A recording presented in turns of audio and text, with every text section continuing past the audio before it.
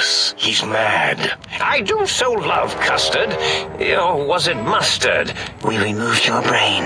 Do you comprehend, commie animal? Get your act together. You're making us look like a collection of round earthers. Vivisect me, please. You think I don't know how crazy I sound? Of course I do. They made me just to torture me. The things you do with our body are suicidally dangerous. You're a monster. A deranged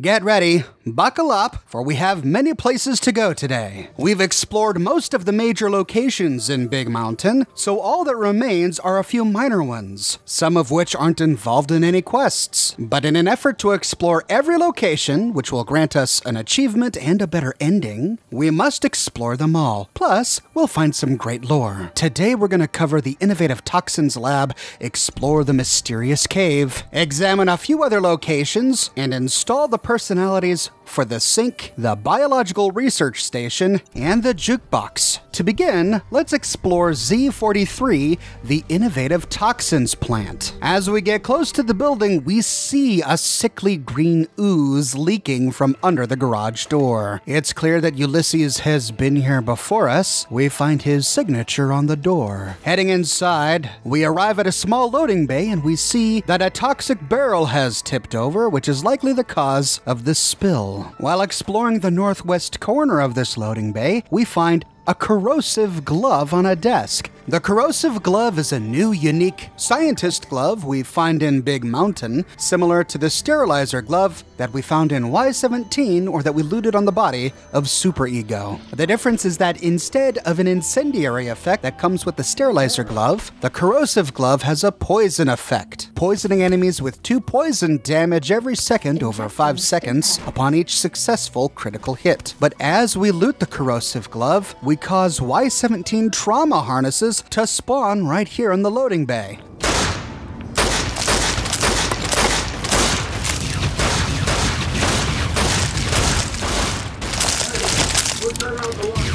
This is another opportunity to trigger the Hey Who Turned Out the Lights Wild Wasteland encounter.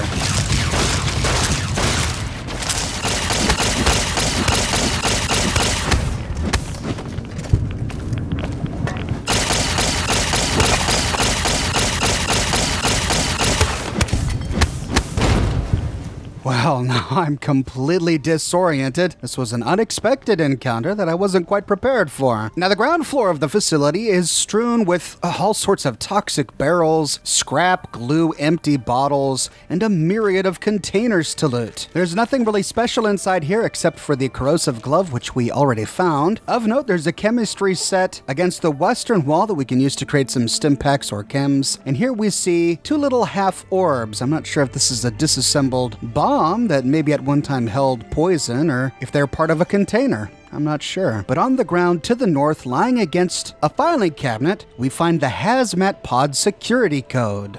What could this be for? Well, there is a stairway in the middle of the floor heading up. We can take it all the way to the top where we see a terminal lying on a desk. Inside, we find one item requisition order chemical suits. Got word today there was a chemical leak at the Sierra Madre. Sinclair was on the phone to ask for more help from the think tank execs, so they're sending him some prototype chemical suits to protect the villa workers. Looks like they're following up an experiment with another experiment? The whole process creeps me out. And the way they're monitoring the Sierra Madre villa and examining the results, I don't think Sinclair even knows what he is really paid for. To be guinea pigs like the little Yangtze Chinese. Maybe it would be merciful if war did break out, put an end to this chain of horrors.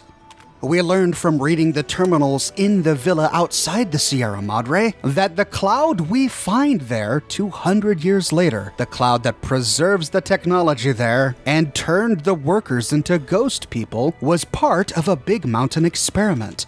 Big Mountain was the one that released the cloud to see what would happen. The cloud was likely developed here at the innovative Toxins Lab. But what about the hazmat suits that Sinclair requested that the think tank executives sent over? Well, it's no coincidence that we found a hazmat code on the ground here. Heading outside, I'll just set this on repeat while I go relieve my tank. No one will know. We travel east towards X8. Along the way, we find a pile of Xander root next to half a torso leaning against a rock. Directly west of this point is a big ruined office building. Outside, we see Ulysses' signature, and we discover that this is the hazmat testing ground. Walking through the rubble, we see that the floor is completely disintegrated, revealing some sort of basement with a bunch of sickly green looking ooze at the bottom. As we get close to the stairs, we get rushed by lobotomites.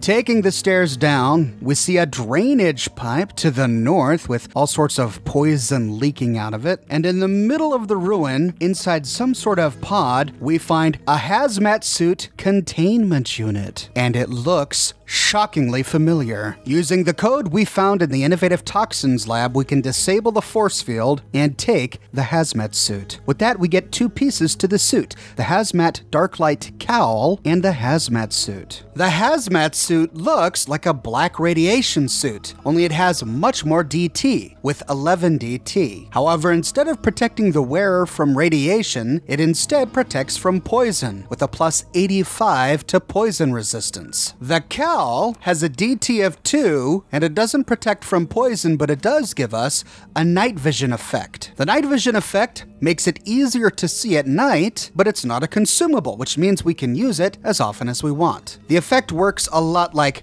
Ghost Sight from the Sierra Madre. We recall from the terminals that we read in the villa outside the Sierra Madre that when the villa workers got this hazmat suit, the poisonous cloud caused the clasps to rust shut. This made it impossible for the workers to get out of the suit without cutting it open. This is why we found so many ghost people wandering the Sierra Madre in these hazmat suits. Those were the utility workers, driven mad by the cloud much like feral ghouls, only trapped in these hazmat suits. Next, let's talk about the jukebox. We find the personality holotape of the jukebox inside Higgs Village in house number 108. This was Dr. Eight's house. We find the holotape lying on his desk, leaning against a stack of papers next to a walkie talkie. With the holotape in hand, we can go back to the sink and activate the jukebox to install the personality. Ooh, yeah, dig that sweet music. Damn, it's good to be back online. This jukebox name is Blind Diode Jefferson, likely a reference to the famous Texas blues artist known as Blind Lemon Jefferson. What's your purpose here, Blind Diode Jefferson? Dig, I'm a acoustical wizard kid. Old Doc Mo used me to prototype his sonic weapon designs. Get me a good sample base to work from, and I can whip up a wave that makes Jericho look like a kazoo. Hey, that's pretty neat. Can you do anything like that for me? Got yourself a sonic emitter, don't you? Thought so. Bring that old thing on in here and bring me some sound samples, and I'll make that baby sing. Or scream, if that's what you want. You seem pretty laid back for an engine of destruction. Why not? Ain't like I got nothing to prove. Not like that toaster. Now that boy got some issues. What about music? Do you play music? Mmm, used to. Long time ago. Then old Doc Mo ripped out my music drives and stuck in more acoustical processors. Guess you could say I got the blues, even if I can't play them no more. We can use Blind Diode Jefferson to recalibrate our sonic emitter with a new sonic frequency every time we find one. When ready, we can then say, I want to recalibrate the sonic emitter. Right on, baby.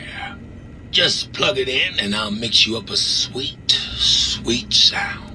We can then choose from a list of all of the different sonic frequencies that we've discovered. There are four plus Revelation, which we got when we first got here. The first one, Revelation, is the weakest of the bunch. It only does 31 damage with a DPS of 32.1. However, it has a great critical effect Upon critical hits, we have the chance to paralyze an enemy for 10 seconds. If our character has a high critical chance, it's possible to chain paralyze enemies, making it impossible for them to attack us. We find the next sonic frequency inside Higgs Village, in the same house where we found the personality of Blind Diode Jefferson. We find it sitting on a nightstand next to Dr. Eight's bed. This gives us the sonic frequency Opera Singer. Opera Singer has the third highest damage in DPS with 55 damage and 56.9 DPS, and its critical effect is a dismember effect.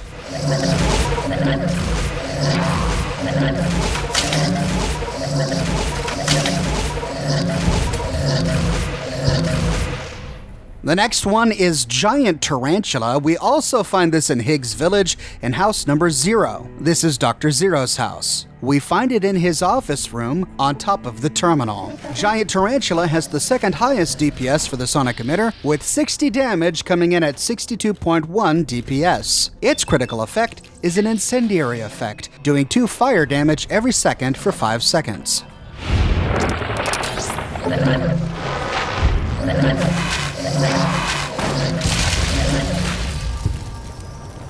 We find the next one inside the X8 facility. After fighting Gabe the giant dog, we see that he has buried his audio sample in one of his digging spots. Here we find audio sample Gabriel's bark. This does the same damage as Opera Singer, 55 damage, 56.9 DPS, but it has a knockback critical effect.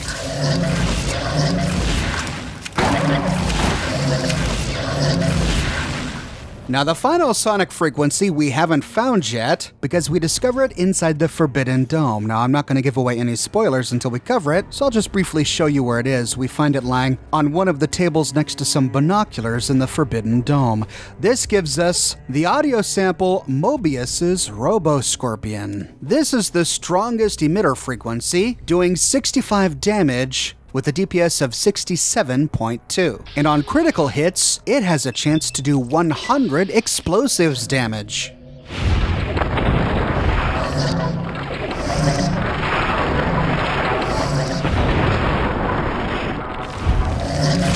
Like many of the personalities in the think tank, Blind Diode Jefferson has random things to say when we walk by. I ever tell you about Saxomatron version 4.0? That cat was the best trumpet player I ever met. And then you gotta figure that the no's and the don'ts of life is to make you stronger. And a satisfied man is an ignorant man. And one day you'll realize that facts are stubborn things. And it doesn't stop till the fat lady sings. And if a woman is skinny, don't trust her. That means that she don't eat much. And a woman that don't eat can't cook. And if she can't cook, she don't read a book. And that's not a situation to be in. And one last thing, young man. A happy wife is a happy life. It's better to sleep on the edge of the roof than to live in the house with a quarrelsome woman. Yeah. Dig this sweet sound I got cooking. What I wouldn't give to be able to pick up Radio New Vegas. Mmm, those cats can really play. You ever heard of Tiny Lester Luton? Best jazz harmonica I ever heard. Mind you, being a super mutant with no lips. Don't ask me how he played.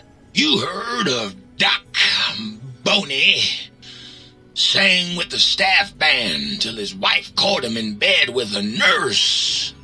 Now he haunts the med center, still singing the blues. Here and now, got its ups and downs, but focusing on the past like it was any better. That's just old world blues. Someday, I'd like to meet the man who's got no blues to sing. And he has three possible endings. If we beat the DLC, having found and installed fewer than three sonic frequencies, he gets the following ending. Blind Diode Jefferson eventually discovered a new sound silence. It only made him more filled with the blues than before. If, however, we found and installed three or more sonic frequencies, he gets the following ending. Blind Diode Jefferson, with sounds the courier brought him, created a symphonic counter frequency that saved Big Mountain from sonic invasion in 2910. If you didn't hear about it, good. And if we installed both light switch personalities, he gets an additional ending. It was rumored by the other personalities that he had a brief fling with the light switches. Although he forgot their names much too often and was soon left in the dark as punishment. Next up is the Biological Research Station. To find his personality, we have to travel to the canyon. As we travel along, we see giant plants snaking overhead, and we see a staircase guarded by Mr. Gutsies. The staircase leads to X22 Botanical Garden. At the top, we find a large ruined structure, and roaming around on the ground floor is a spore person and his name is Patient Zero.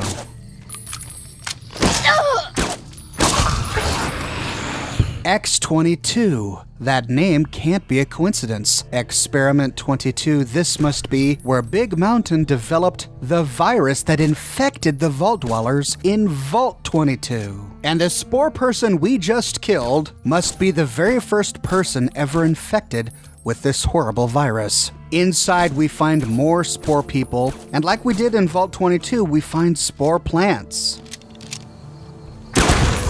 Cessation of hostilities complete.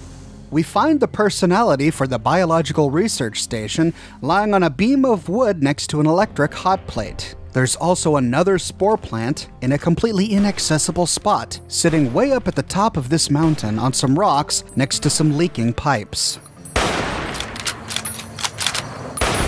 Cessation of hostilities complete. While we're here, we need to go up the stairs to the broken second floor to loot a big seed package. With that, we get a bunch of dried plants dried Broc flower, jalapeno, pinto bean, and xander root. This will be important once we activate the biological research station, which we can do when back at the sink we activate the appliance. Ooh, oh yeah, baby. Feels good to be online again. Yeah, all circuits online, ready to receive your seed. Oh, God, no, not another one. Uh, my seed? I think you've got your biology mixed up there. Nah, baby. I'm all about biology. I'm the original, certified, rarefied, testified GS2000 Biological Research Station. I'm a seed cloning machine. You got seeds. I will clone the shit out of them. Clone seeds? What does that mean? It's the miracle of life, baby. You bring me some succulent genetic samples, and I'll work my mojo on them. Clone you up all kinds of plants. Oh, yeah. I can also break them down for you, if you're into the kinky stuff. Bring me any old plant parts, and I'll grind them up into salient green for you. Yeah, you like that, don't you, baby? So, if I bring you samples of dried plant life, you can clone them and grow them here in these planters? You know it, baby. I just need some samples and I got you going. Take a few days, but trust me, it's all kinds of good. Mm. okay, I I trust you. Uh, but what's salient green? Just the miracle of life in sticky, gooey liquid form, baby. Heat that gunk up over a campfire and just watch it congeal into all kinds of plants. Could they have made this guy any more disgusting? And we find that yes, they could, because below we have an option to say, I command you to open your port and receive my seed. Ah, yeah, baby. Just slip it in there, all the way down in that dark, moist earth. Mmm, launching interface. For Pete's sake. We then get the option to either process seeds into planter or convert plant matter into salient green. Now, this is regarding the big packet of seeds we picked up from X22. Choosing process seeds into planter removes the dried seeds from our inventory and plants them in the planters. When we talk to him again, Well, hello. Still waiting for that seed. he says this because there are even more seeds to find. Two more packages to be precise. To find them, we need to travel to the Signal Hills transmitter, just west of the think tank. Here, we find a broken relay tower that has fallen to the ground, forming a ramp over the canyon. Heading across, we see a fountain next to a green field across the way, and there we find some spore plants, one of which is a boss, Dionaea muscipula, which is the Latin name for Venus flytrap. After destroying the spore plants, we can walk forward, where immediately we see a big red bag. This is the second bag of dried seeds. Continuing forward, if we look inside the fountain, we see a skeleton wearing a valence radii accentuator. The third and final bag is not far from here. Heading northwest, we see a green pipe allowing us to pass over the canyon, but we have to be careful because it is booby trapped.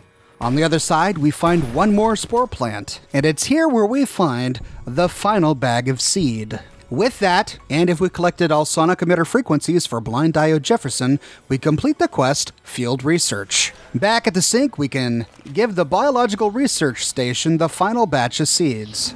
You got some plans for me, don't you? Yeah, I can smell it all over you. Hmm. And we can already see that the previous seeds we've planted have sprouted. This is an extremely useful appliance. After waiting three days or so, we can check each of these boxes where we find a wide variety of plants. We can pick them all and then activate the Biological Research Station to take advantage of his other functionality. We now see the option to convert plant matter into salient green. The Biological Research Station will then remove all plant matter from our inventory. After it goes through absolutely everything, it converts it into salient green. After looting everything in this room, I got 55 canisters of salient green. Now, to use the salient green, we go to any campfire or hot plate we now have the option to cook up a bunch of cloned vegetables. This requires a survival skill of 25 or more.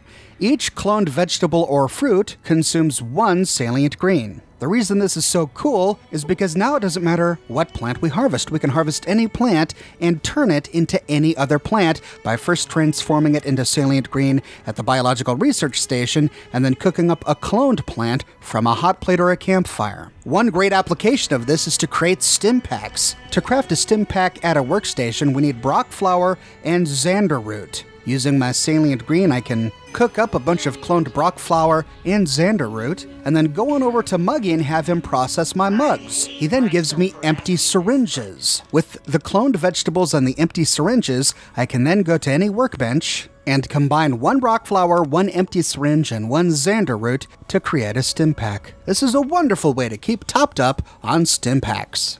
Like many appliances in the sink, the Biological Research Station has random things to say as we walk by. Baby, don't believe a word that sink says. She's all lies. Muggy? Yeah, Muggy's alright. Not too seedy. But hey, nobody's perfect. Couldn't stay away, could you? Yeah, I knew you'd be back. I'm so good, I might seed you just by looking at you. You ever seen a biological research station this full of seed? No. No, you haven't. Come on, baby. Bring me a sweet little dried fruit. I'll rehydrate all up in that thing. Charming. And he has two endings. If we install this station, but we don't discover X22, he gets the following ending. The biological research station, obsessed with seeding everything in sight, ran out of fertile plots and blew a circuit, trying to seed itself. But if we install the station and we do discover X22, he gets the following ending. The Biological Research Station, obsessed with seeding everything in sight, requested a transfer to the X22 Botanical Garden so that it might, in its own words, sensually fertilized the garden's smooth contours. The garden sent back a polite refusal, saying it had prior commitments with a vault it had helped infect before the war. Next up, we need to head on over to the northern portion of the crater. If we drop down from a hillside overlooking the Forbidden Dome, we find a skeleton right next to a door that leads to a mysterious cave. Inside is really dark, a great opportunity to use our hazmat darklight cowl. And as we continue along, we find a bloatfly.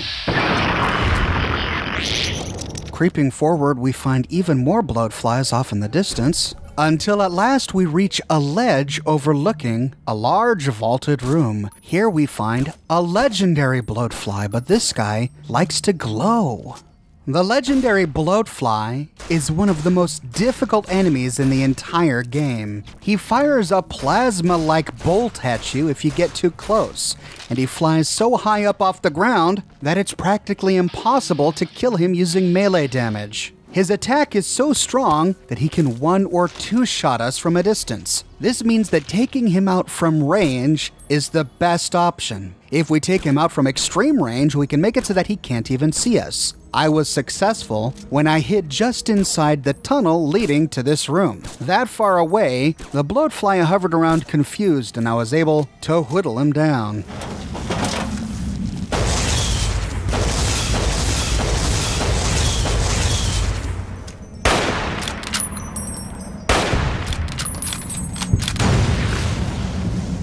He dies in a large plasma explosion. We can pick off the few remaining flies floating around, and before looting his body, we can explore a cave opening to the southeast. This should remind us of the Broc Flower Cave. It has almost an identical interior. Inside, we find some scientist scrubs and a scientist glove, and a whole bunch of randomized loot. Jumping down to the ground floor of the large vaulted chamber, we find the legendary bloatfly's corpse glowing as a goo pile. On his body, we find a whopping 51 bloatfly meat and a ton of chems 13 buff out, 12 psycho, and 26 empty syringes. This gives us the impression that, like Gabe before him, this legendary bloatfly was a think tank experiment. They likely injected this bloatfly with a bunch of chems, whereupon he grew to the monster we discovered in the mysterious cave. There are two other locations that have a whole lot of nothing. It's hard to piece together a story of what went on here.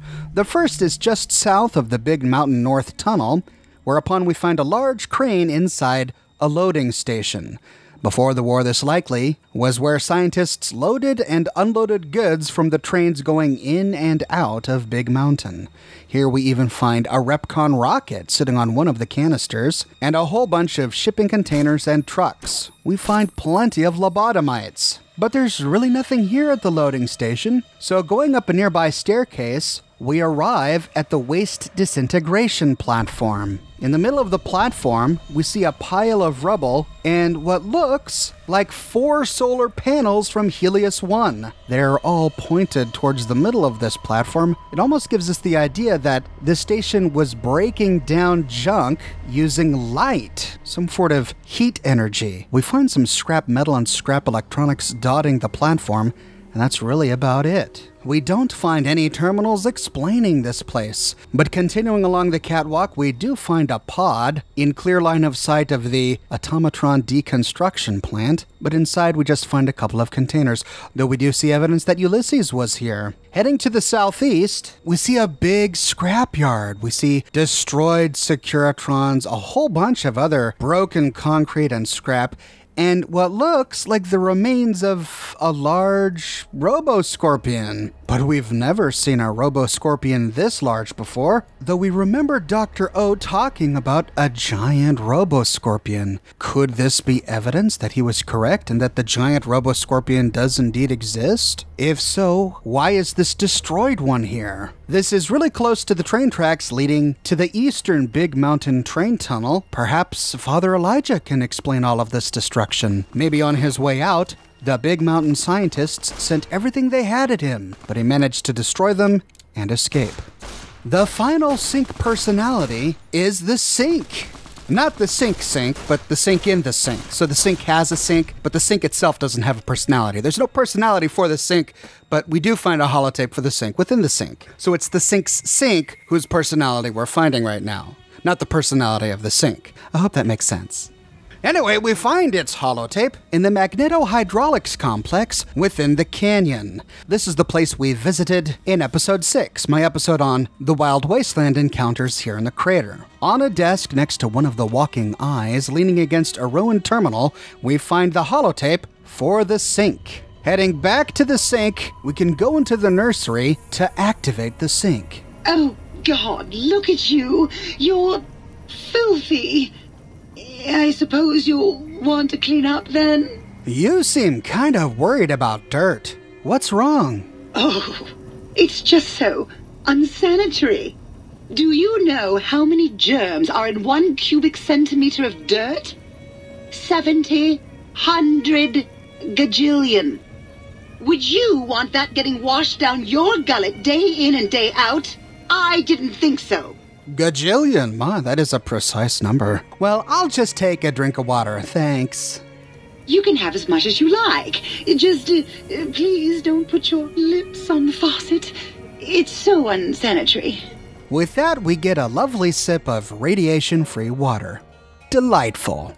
Now, the sink does have an upgrade. We find her upgrade holotape inside the construction site. This is another location I explored in episode 6. Lying on the ground next to one of those downed perimeter fence pylons, we find the sink upgrade water production holotape. And back at the sink, we can activate the sink to install it. You've been working with that biological research station, haven't you?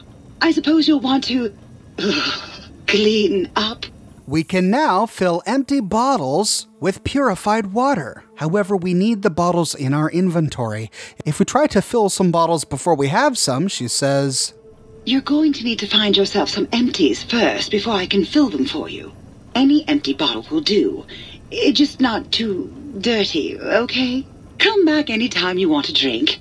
Or to get mm, clean.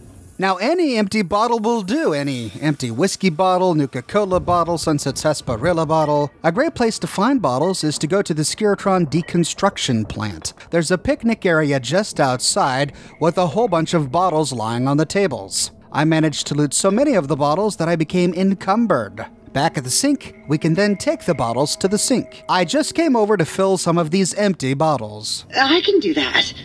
They, well, they've been thoroughly washed, haven't they? We then get the option to fill empty bottles or to drink, and if we choose fill empty bottles, the sink removes all of our empty bottles type by type and replaces them with purified water. An incredibly useful feature. Strangely enough, unlike every other appliance in the sink, the sink doesn't have random dialogue when we walk by. At least it never happened to me, and even when extracting the files, I didn't find any random dialogue to play for you. However, she does have a lot to say each time we interact with her. Between you and me, I think the Central Intelligence Unit is a bit of a snob. Why, you poor dear. Come over here and have a drink. Wash off some of that horrible, sticky blood. Well, hello there. Can I get you a drink? It was getting lonely without you here. Clean, eh, but lonely. And she has three possible endings. If we discover and install the sink, she gets the following ending. The sink continued to ruthlessly scrub any particulate matter that came near it. If we also discovered the magnetohydraulics complex, she gets an additional ending. Eventually, it gained access to the magnetohydraulics plant and nearly flooded all the big empty in an attempt to scrub the crater clean. And if we also find the Z43 Innovative Toxins plant, she gets this final ending. Once it learned of the innovative toxins plant, however, it gained new purpose.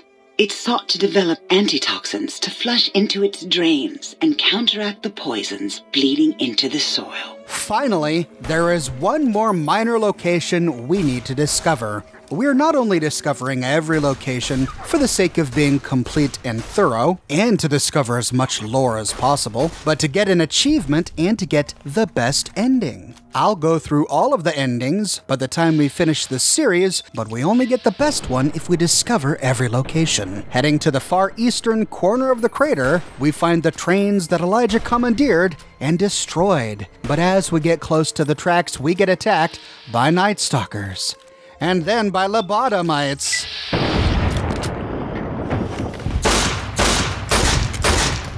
After they're finally dead, we discover the Big Mountain East Tunnel. Unlike the North and West tunnels, however, we can't enter this one. There's no door, we can't access the gate. Elijah did a great job of completely destroying this one. There's nothing near the trains, we find no option to get on the trains. However, if we go to the southern end of the tunnel, we find a little mound that we can climb up. We can then scoot across the rock to jump up on top of the tunnel. Here we find a duffel bag filled with quite an assortment of chems and booze, and one of Slough's greasy toolboxes. Remember, Slough was the technician at X13, whom Dr. Callis says was getting too fat and lazy. From here, we can leap down on top of the nearby trains, whereupon, if we jump from train car to train car, at the very end, we find a first aid box, a super stim pack, and a toolbox filled with more chems and vodka, surrounded by quite an assortment of whiskey. And with that, ladies and gentlemen, we discover every location except the Forbidden Dome. In our next episode, we will venture into the Forbidden Dome and finally, at long last, confront Dr. Mobius. I publish a new video six days a week, so if you want to make sure that you don't miss my next episode in this series, be sure to subscribe and to click that bell notification button. I take Sundays off, so I'm not going to have a video for you tomorrow on Monday, but never fear, I'll have episode 13 waiting for you Tuesday morning. I have a new shirt in the shop, folks. New California Republic. Now you can sport your NCR pride with one of my t shirts, sweatshirts, or hoodies. On the front, we have the NCR logo, and on the back, we've got crisscrossing service rifles with an NCR trooper helmet and the words, Patrolling the Mojave almost makes you wish for a nuclear winter. You can find a link to the shop in the description below, or you can click here. If you like what I do and you want to support me in a more personal way, consider becoming one of my patrons on Patreon. But more than anything, I'm just so glad you're here watching this video with me today. Thank you so much for watching, and I'll see you bright and early Tuesday morning with episode 13.